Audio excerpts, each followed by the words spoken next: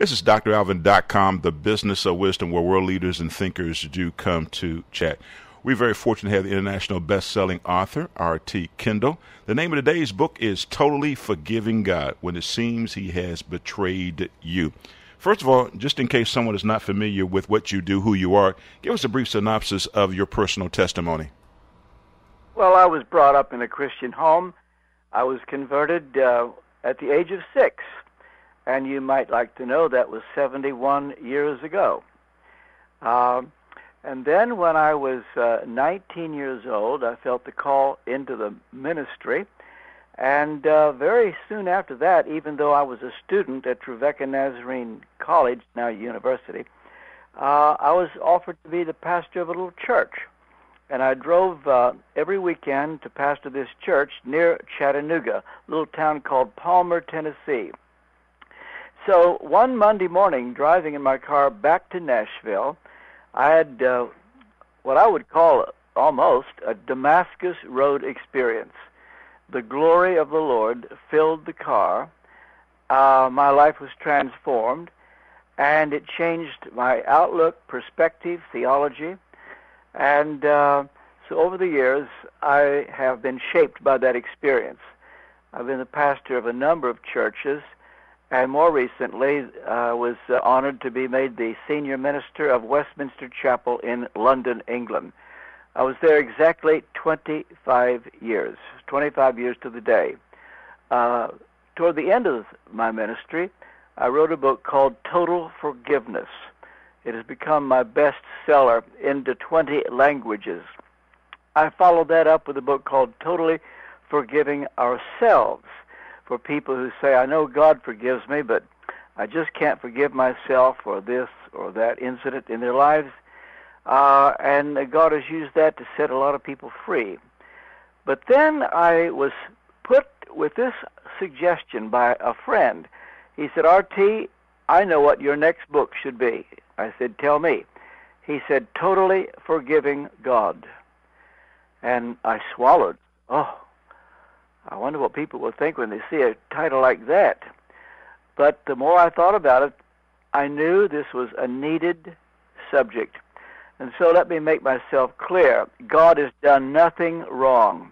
He's pure, He's holy, He's perfect, He is just.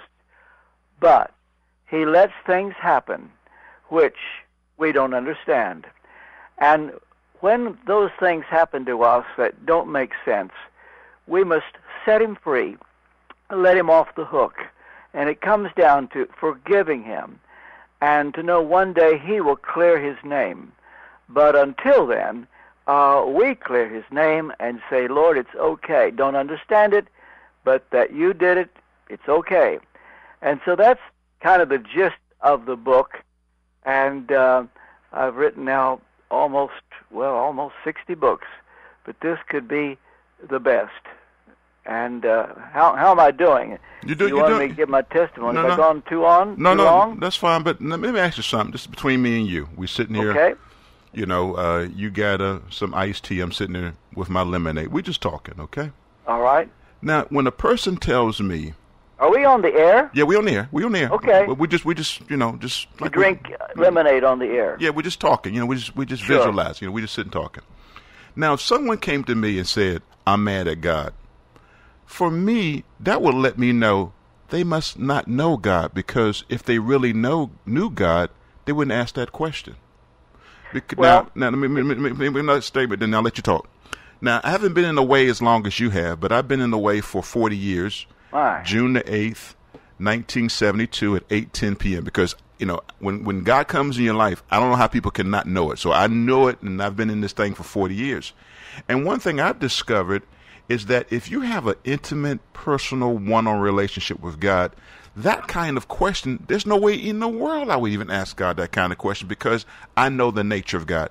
So when a person is upset with God, just between me and you, doesn't that indicate they really don't have a one-on-one relationship with a true and living God? Well, I would. I want to be charitable. There are people that don't have the background you and I have, and I want not to dismiss people like that. I would say they don't have a very deep relationship with God. I wouldn't say they don't know him at all. I think that would be a bit unfair. But I understand what you're saying. But, uh, you know, some people grow faster than others, and some with deep hurts. Uh, and if we went through what some have gone through, we may also be tempted to say uh, that you're mad at God. Uh, even, you know, Jeremiah said, Lord, you, you have deceived me. And I think he was a bit annoyed at the time.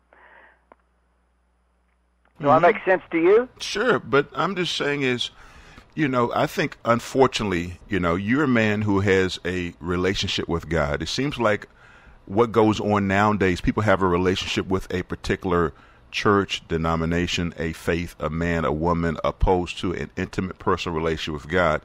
And I think when we have created scenarios where people give not God their heart, but they give a man or woman their hand, these kinds of questions, whether it's forgiveness and some other things, seem to creep in because we're not necessarily talking a deep relationship. You know, I know who my mother and father is. I know their nature. I know what they will not. I'm just, again, I, I know, I understand the concept, but I'm just having problems sometimes because it seems like we're creating a generation of people, believers, who really are not knowing God. They know more about the, the denomination than they do a personal relationship with God. Does that make no, any kind of sense? I know exactly what you mean and I see exactly what you're saying now. Uh, I would only say that some people are more spiritual than others, some catch on more quickly than others, some grow faster than others, and um, I think when we get to heaven, well, Martin Luther said, when I get to heaven, I expect three surprises. One, there will be people there that I didn't think would be there.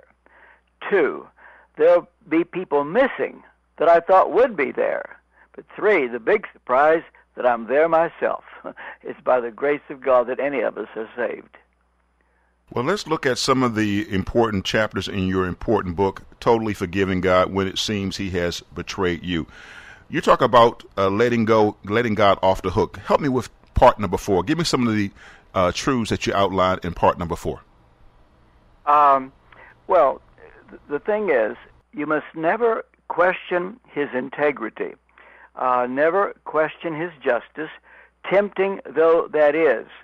Uh, but the truth is that we've all gone through situations where we don't understand, and uh, and so I don't want to give the impression at any time ever that God has done anything wrong, because the truth is uh, He's perfect in every way, and I would never want to uh, let people feel that they have a right to be angry. Uh, you forgive God, first of all, uh, by telling Him what you feel, and you don't tell the world.